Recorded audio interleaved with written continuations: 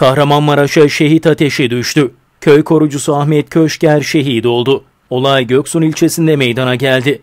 Korucu Ahmet Köşker akşam saatlerinde nöbet tutuyordu. Köşker sobadan sızan gazdan zehirlenerek şehit oldu. Olay yerine gelen sağlık ekiplerinin tüm çabalarına rağmen kurtarılamayan şehit Ahmet Köşker, memleketi Göksun'da son yolculuğuna uğurlandı.